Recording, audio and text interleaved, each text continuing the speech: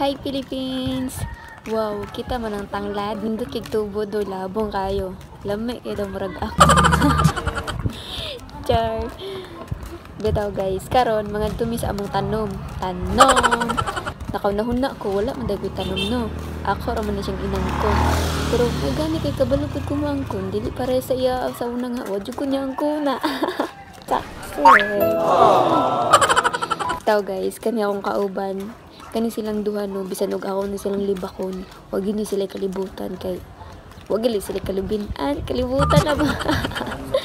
Eto guys, kani manggod sila no kay Bisaya, Bisaya, Charot, Tagalog din sila guys. Joke pa to. Tagalog din sila dako. Bisan mo kung unsa akong pangyaw-yawo no, di di sila kasabot. saging mo diha. Ana sila kay subdivision eh pero ako pa nang ang bukid man kay dagat sagot lagi lang mi alamig pa ka kay wala para ba miliwat na kaning among kamaot. Ay na lang gyud mi paaga maluoy na lang mo no jar manguha mi og sambong kay lagi. Tambal ni siya sa sakit sa UTI wow. Usa jud siya ka herbal no Grabe, mo na siya guys, oh. Diha rami tama no kay sambong na ano diha.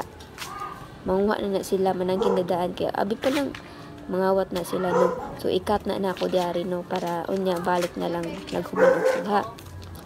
Ang dagtanan no madala ra sa og madala ra tambal sa sambong no para hasta po niya akong kasing-kasing nga dugay rang gasakit naman niya. Tiyan, mo niya sambong no. Grabe, nindot kayo doon. Di nila ko taman.